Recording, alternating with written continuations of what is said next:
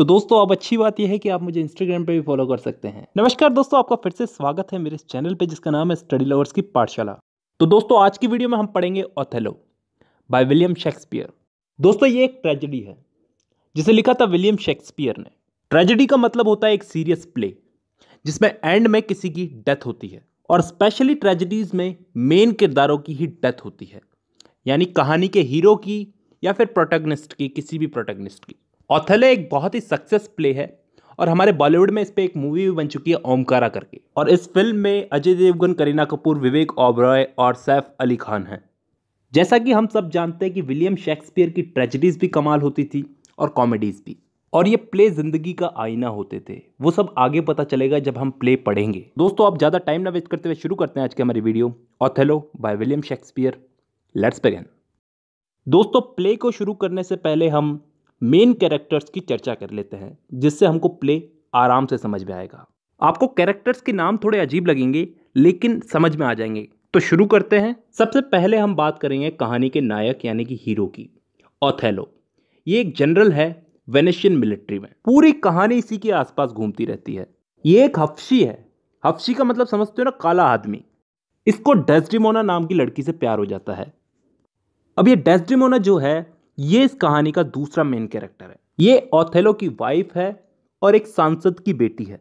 इस डेस्डिमोना के फादर का नाम है ब्राबेंशियो जो शुरू में ऑथेलो और डेस्डिमोना की शादी के लिए तैयार नहीं होता, क्योंकि वो सोचता है कि मेरी बेटी क्यों एक हफ्सी के साथ शादी कर रही है। लेकिन बाद में उसे इस शादी को एक्सेप्ट करना ही पड़ता है। देखिए दोस्तों, इस कहानी के तीन कैरेक्टर हो गए ऑथेलो डेस्टिमोना और उसके फादर ठीक है, अब आगे बढ़ते हैं। अब इस कहानी के विलन की बात करते हैं इयागो की।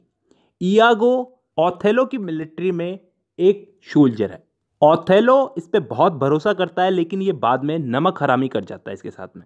इसका नाम याद रखने, ये कहानी का विलन है। इसके अलावा एक और कैरेक्टर है कासियो नाम का। ये भी ऑथेलो की आर्मी में एक सोल्जर है, ये बहुत ईमानदार है और ऑथेलो इसे बहुत पसंद करता है। और ये इस कहानी के मेन कैरेक्टर्स की गिनती में आता है। अब एमिलिया। एमिलिया इयागो की वाइफ है, यानी कि कहानी के विलन की वाइफ है। और इसी के साथ ये डेस्टिमोना की मेड सर्वेंट भी होती है बाद में। इसका भी इस प्ले में एक बहुत ही अहम किरदार है। एक्चुअली विलियम शेक्सपियर के सारे प्लेज में हर किसी कैरेक्टर का अपना एक वजूद होता है। ऐसा नहीं है कोई भी प्ले में ज़बरदस्ती कोई कैरेक्टर डाल दिया हो। इसके अलावा एक और साइड कैरेक्टर याद कर लो मंटनो ये साइप्रस नामक जगह का गवर्नर है। ठीक है, अब प्ले शुरू करते हैं। इस कहानी की शुरुआत होती है इटली के एक शहर वेनिस की एक गली से, जहाँ दो जेंटलमैन आपस में बातें कर रहे हैं। जेंटलमैन तो क्या है? ये दोनों कमीने हैं। जिसमें से पहले का नाम है रॉडरेगो, जो कि एक पैसे वाला आदमी है, और दूसरे का नाम है इयागो, यानी कि कहानी का विलन। अब ये रॉडरेगो जो नोबेल मैन है, ये इयागो से कहता है कि तुमने मुझे बेवकूफ़ बनाया तुमने मुझसे डेस्डिमोना को पटवाने का वादा किया था। उस वादे का क्या हुआ इयागो? तुमने मुझे ठगा है। डेस्डिमोना तो तुम्हारे जनरल ओथेलो के साथ भाग गई, जिसके लिए तुम काम करते हो, यागो। तो इयागो गुस्से में उससे कहता है कि मैं भी ओथेलो से उतनी ही नफरत करता हूँ जितनी कि तुम, क्योंकि उस ओथेलो के बच्चे ने मुझे अपना लेफ्टिनेंट बनाने की बजाय उस कल के लौंडे कासियो को अपना लेफ्टिनेंट बना दिया, जिसे लेफ्टिनेंट का एल भी नहीं मालूम। थोड़ा सा भी एक्सपीरियंस नहीं है उसे उस पद का। अभी थोड़ी देर शांति रखो, मुझे कुछ सोचने दो। थोड़ी देर बाद इयागो रॉडरिगो से बोलता है कि मुझे एक आइडिया है। अपन दोनों चलते हैं डेस्डिमोना के फादर के पास। वो दोनों ब्राबेंटियो के पास जाते हैं, जो कि डेस्डिमोना का फादर है। उसके घर के बाहर चिल्ला करके बोलते हैं, वो दोनों बोलते हैं कि तुम्हारी बेटी जो है, वो ओथेलो के साथ भाग गई है। चाहो तो अपने घर में देख लो। अब ब्राबेंशियो अपनी बेटी को पूरे घर में ढूंढता है। जब वो उसे नहीं मिलती तो वो गुस्से में लाल पीला और ऊपर से वो सांसद ठहरा, यानी कि सीनेट का सदस्य। अब वो आगे क्या करेगा? ये तो देखा जाएगा। अब ये इयागो है ना, ये बहुत चालू आदमी है। ये ओथेलो के पास जाता है और जाके उसको बोलता है कि, हुजूर, डेस्डिमोना के बाप को पता चल गया है कि आप उसकी बेटी लेके भागे हो। वो किसी भी समय आपके पास आता ही होगा। लेकिन ओथेलो को कोई चिंता नहीं है। ओथेलो बोलता है, प्यार किया, चोरी थोड़ी की है। अब आगे क्या होना था? डेस्डिमोना का बाप आता है ओथेलो को पकड़ता है और ड्यूक के पास लेके जाता है। ड्यूक को फेनिश के पास में ले जाता है। जहाँ ड्यूक तुर्कों के हमले की बात कर रहा होता है किसी से तभी वहाँ पे डेस्डिमोना का बाप ओथेलो को लेके आता है और बोलता है कि मेरी मदद करो। वो ओथेलो पे आरोप लगाता है कि इस ओथेलो के बच्चे ने मेरी बेटी डेस्टिमोना को करप्ट कर दिया। ज़रूर इसने मेरी बेटी पे कोई काला जादू किया और उसको बहकाया। अब यहाँ पे ड्यूक भी चालाक। वो कहता है कि कोई और होता तो सजा दे देते। लेकिन ये ऑथेलो है, अपनी आर्मी का जनरल है। इसको अपना पक्ष रखने का मौका देना चाहिए। अब ऑथेलो ड्यूक को बोलता है कि मैंने डेस्डिमोना पे कोई काला जादू नहीं किया, हुजूर। वो मुझसे प्रेम करती है, मैं उससे प्रेम करता हूँ। तो मैंने गलत क्या किया ये बताओ? और जहाँ तक काले जादू की बात है, मैंने कोई काला जादू नहीं किया है। मैंने बस उसको अपनी ज़िंदगी के किस्से सुनाए कि मैंने अपनी ज़िंदगी में क्या क्या किया है, कितने बड़े बड़े काम किए जिससे वो मेरी दीवानी हो गई। आप चाहो तो खुद डेस्डिमोना को बुलाकर पूछ लो ना। अब डेस्डिमोना को बुलाया जाता है। डेस्डिमोना भी ऑथेलो का सपोर्ट करती है। अब ड्यूक ने भी लंबी सोची। उसने कहा कि तुर्कों के आक्रमण हो रहे हैं। हमारी रक्षा के लिए ऑथेलो का रहना ज़रूरी है। और डेस्डिमोना भी इसी का सपोर्ट कर रही है। तो इसी के पक्ष में फैसला सुना देते हैं। तो ड्यूक उनके पक्ष में फैसला सुना देता है और ऑथेलो और डेस्डिमोना की शादी को लीगल कर देता है। अब डेस्डिमोना के बाप को गुस्से में ही सही, लेकिन इस शादी को मानना पड़ा। अब दोस्तों, ड्यूक ने ऑथेलो को कहा कि वेनेशियन बेड़े को संभालने के लिए तुम्हें साइप्रस जाना पड़ेगा। तुम्हें वहाँ पे साइप्रस को तुर्कों से डिफेंड करना पड़ेगा। तुम्हारी अभी नई नई शादी हुई है, डेस्डिमोना को भी साथ में ले जाओ। तो ऑथेलो अपनी नई दुल्हन डेस्डिमोना को लेकर के साइप्रस के लिए रवाना हो जाता है। उनके साथ इयागो और रोडरिगो भी है। यहाँ पे इयागो जो है, वो अभी भी रोडरिगो को दिलासा दे रहा है कि तुम टेंशन मत लो डेस्डिमोना को मैं पटवा कर दूँगा और ऑथेलो से अपना बदला भी लूँगा। चिंता मत करो। अब ये समुद्र के रास्ते साइप्रस जा रहे हैं सारे के सारे। अब जब ये सारे के सारे साइप्रस पहुँचे, उसी वक्त गवर्नर मोन्टानो ने खबर दी कि तूफ़ान इतना खतरनाक है कि तुर्कों का बेड़ा जो है, वो ज़रूर डूब गया होगा। अब हमें चिंता करने की ज़रूरत नहीं कि तुर्क हम पे हमला करेंगे। मैं अंदाज़ा लगा रहा हूँ कि वो इस तूफ़ान को नहीं झेल पाएँगे। अब दोस्तों, इस कहानी में एंट्री होती है कासियो की। ये कासियो जो है, ये ओथेलो की आर्मी में एक सोल्जर है, जिसको कुछ टाइम पहले ओथेलो ने लेफ्टिनेंट बना दिया है। मतलब इसका प्रमोशन कर दिया है, क्योंकि ये एक अच्छा खासा सैनिक भी है और सबको खुश भी रखता है, स्वभाव का बड़ा अच्छा है। इसी के साथ साथ ये डेस्डिमोना का अच्छा खासा दोस्त भी बन जाता है। और अच्छी बात तो ये है कि ओथेलो को इस बात से कोई प्रॉब्लम नहीं है कि ये मेरी बीवी डेस्डिमोना के साथ हँसी मज़ाक करता है, कोई प्रॉब्लम नहीं है। अब जब सबको पता चलता है, ओथेलो की सेना को और ओथेलो को पता चलता है कि तुर्क जो है, वो समुद्र के अंदर ही खत्म हो गए हैं मतलब अब अब कोई हमको खतरा नहीं है तो सारे के सारे जश्न मनाने लग जाते हैं, खुश होने लग जाते हैं। अब ओथेलो जो है, वो कासियों को बुलाता है और कहता है कि सबको संभाल के रखना, ज़्यादा जश्न नहीं होना चाहिए, अच्छी बात है, खुशी की बात है, मैं डेस्डिमोना के साथ जा रहा हूँ, तुम यहाँ का सब कुछ संभाल लेना। अब ऑथेलो कासियो को इतना बोल करके डेस्डिमोना के साथ कमरे में सोने चला जाता है। अब इयागो के दिमाग में प्लानिंग चल रही है। वो सोच रहा है कि कुछ ना कुछ ऐसा ज़रूर करूँगा जिससे मैं ऑथेलो से बदला ले सकूँ। अब दोस्तों, मैं आपको एक बात बताता हूँ। ये इयागो जो है, इसके मन में ऐसा क्या है जो इस, ये ओथेलो से बदला लेना चाह रहा है? अब देखो दोस्तों, जहाँ तक मैंने इस प्ले को पढ़ा है तो मुझे इयागो की जलन के दो कारण दिखे। पहला तो ये कि ऑथेलो ने इसकी बजाय कासियो को अपना लेफ्टिनेंट बना दिया। जिसको इस लेफ्टिनेंट पद का थोड़ा सा भी एक्सपीरियंस नहीं है, ऐसा समझता है ये यागो। और दूसरा कारण यह है कि ये यागो सोचता है कि मेरी बीवी एमिलिया जो है, इसके ऑथेलो के साथ कुछ संबंध है। तो ये दो कारण है जिसकी वजह से यागो इस ऑथेलो पे इतना गुस्सा है। अब जब रात में ऑथेलो अपनी बीवी डेस्टिमोना नई नवेली दुल्हन है, उसके साथ में कमरे में सोने चला जाता है तो इयागो सोचता है कि कासियो को कैसे ना कैसे करके मैं शराब पिला देता हूँ। प्लानिंग कर रहा है बहुत तगड़ी। अब आगे ये क्या करता है? कासियो को शराब तो पिलाई दी। अब वो उसको मोन्टानो के साथ, जो गवर्नर है मोन्टानो उसके साथ लड़वा देता है। ये दोनों को उकसाता है, भड़काता है और दोनों को आपस में लड़वा देता है। अब ऑथेलो जब डेस्डिमोना के साथ सो रहा होता है तो उसे दिखता है, कुछ आवाज़ सी सुनाई देती है कि बाहर कुछ लड़ाई वड़ाई हो रही है। तो जब वो बाहर जाता है तो वो देखता है कि कासियो ने शराब पी करके हुड़दंग मचा रखा है, वो मोन्टानो के साथ लड़ रहा है। तो वो कासियो को डांटता है कि, मैंने तुम्हें यहाँ कहा था कि सब कुछ संभाल लो और तुम खुद ही ऐसे कर रहे हो तो बाकी और क्या करेंगे? ऑथेलो गुस्से में उसका औहदा घटा देता है। उसको जो लेफ्टिनेंट पद दिया था ना, वो उसे छीन लेता है वापस। अब कासियो बेचारा उदास हो जाता है। वो कहता है, मैंने किया ही क्या था? मुझे तो शराब पिलाई गई थी। मैं थोड़ी लड़ रहा था उनसे। अब दोस्तों, इयागो जो चाहता था, वो तो हो गया। लेकिन इयागो की बहुत तगड़ी प्लानिंग है यहाँ पे। वो डेस्डिमोना के पास जाता है। वो डेस्डिमोना से कहता है कि, तुम्हें मालूम है, ऑथेलो जो है, उसने कासियो का पद छीन लिया है। उसे जो लेफ्टिनेंट पद दिया था उसने वो छीन लिया है। तो डेस्डिमोना बोलती है हाँ बड़े दुख की बात है। तो इयागो डेस्डिमोना को बोलता है कि, हम सब जानते कि कासियो कितना अच्छा आदमी है। उसने गलती से कुछ कर दिया होगा तो ऐसे थोड़ी है उसका लेफ्टिनेंट पद छीन लिया जाए। वो डेस्डिमोना सा कहता है कि, तुम ऑथेलो को समझाओ कि कासियो के साथ ऐसा ना करें। उसे वापस लेफ्टिनेंट बना दे। कासियो एक बहुत ही अच्छा आदमी है। तो डेस्डिमोना सोचती है कि ये यागो बात तो सही कर रहा है।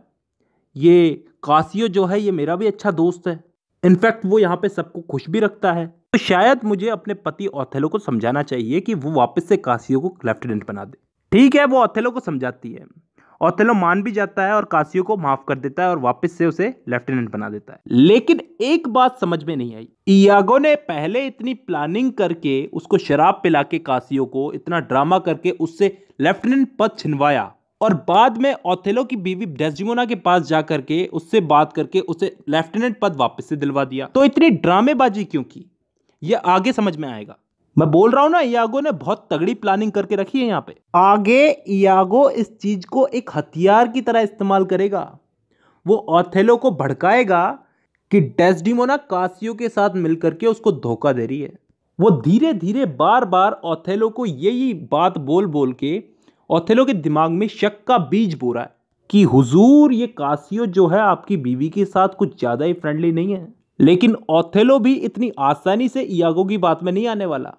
वो नहीं मानता उसकी बात। बार बार कासियो की तारीफ़ करता है वो। वो कहता है कि कासियो बहुत ईमानदार आदमी है, तुम ऐसी बकवास की बातें मत किया करो मेरे सामने बार बार अब दोस्तों, इयागो तो अपना काम कर ही रहा है। वो ऑथेलो के दिमाग में धीरे धीरे धीरे धीरे शक का बीज पूरा है। अब इयागो ने एक दिन यहाँ पे बहुत गहरी चाल खेली। कैसे? मैं बताता हूँ। अब देखो, यागो की जो बीवी थी, एमिलिया, मैंने कहा था एक छोटा सा रोल है इसका। इसकी जो बीवी है, एमिलिया, इसकी पत्नी जो है, ये डेस्डिमोना के लिए काम करती है। यानी कि उसकी मेड सर्वेंट है। अब इयागो ने एमिलिया को कहा कि तुम डेस्डिमोना का जो वो रुमाल है, वो मुझे लाके दो। मुझे उस रुमाल से काम है।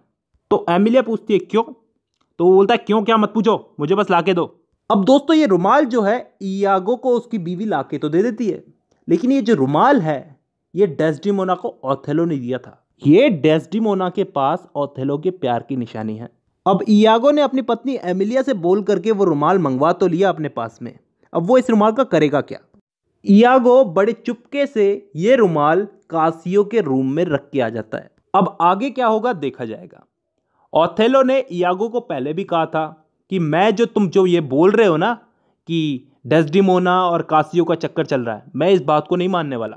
अगर तुम्हारे पास डेस्डिमोना की बेवफाई का कोई सबूत है तो ला के दिखाओ मुझे। तो इयागो उससे बोलता है कि, हुजूर, आप बड़े भोले हैं। आपको ये बात नहीं पता कि मैंने कासियो को बहुत बार देखा है अपने रूम में सोते हुए कि वो डेस्डिमोना के बारे में सोचता है रात को सोते हुए। और हुजूर, आज तो हद हो गई। आज तो मैंने कासियो के पास वो रुमाल देखा जो आपने अपनी बीवी डेस्डिमोना को अपने प्यार की निशानी के रूप में दिया था। अब इयागो ने जो बात बोली है, इसको टेस्ट करने के लिए ऑथेलो डेस्डिमोना के रूम में गया और जाकर के डेस्डिमोना से अपने रुमाल मांगा कि मुझे वो रुमाल दो जो मैंने तुम्हें दिया था। डेस्डिमोना ने बहुत वो रुमाल ढूंढा, लेकिन उसे मिला नहीं। अब वो गुस्से में लाल पिला अब ऑथेलो को यकीन हो गया कि इयागो जो कुछ भी बोल रहा है वो सही है। अब जैसे ही ऑथेलो डेस्डिमोना के रूम से बाहर आया तो इयागो ने उससे पूछा कि क्या हुआ हुजूर? जो मैंने कहा था वो सही है ना? तो इतना सुनते ही ओथेलो आ जाता है गुस्से में। और वो गुस्से में कहता है कि इयागो मैंने तुम्हें इसी वक्त लेफ्टिनेंट बना दिया। जाओ जाकर उस गद्दार कासियो को मार दो। मैं तुम्हें तीन दिन देता हूँ। जाके मार दो। तो दोस्तों, अभी भी इयागो का पेट नहीं भरा। वो अभी भी ओथेलो को भड़काया जा रहा है। वो कह रहा है, हुजूर, मैं तो कासियो को संभाल लूँगा, लेकिन डेस्टिमोना का क्या? उसने भी तो आपके साथ धोखा किया है। वो उसको कहता है कि, हुजूर, मैं तो ये भी जानता हूँ कि वो दोनों आपस में सो भी चुके हैं। अब आप सोच सकते हैं कि ओथेले का गुस्सा इस वक्त कहाँ पे होगा? सातवें आसमान पे होगा। इयागो यहाँ पे सबके साथ खेल खेल रहा है, सबके साथ गेम खेल रहा है। वो ओथेलो को भड़का रहा है डेस्डिमोना के खिलाफ। यहाँ पे उसको कासियो को मारने की खुली छूट मिली गई। अब कौन बचा? रॉडरिगो। इसको ये अलग ही गोली दे रहा है। उसको बोल रहा है कि तू चिंता मत कर, मैं डेस्डिमोना को कुछ नहीं होने दूँगा। मैंने पूरा प्लान तैयार कर लिया है। तू तो ऐसा कर, मुझे रात को मिल, अपन दोनों मिलकर कासियो को मारते हैं। अब दोस्तों, उस रात इयागो ने कासियो को मारने का पूरा प्लान तैयार कर लिया था। कि जब कासियो अपनी गर्लफ्रेंड बियंगा के घर से बाहर आएगा तो रॉदरिगो उस पर हमला करेगा, अटैक करेगा।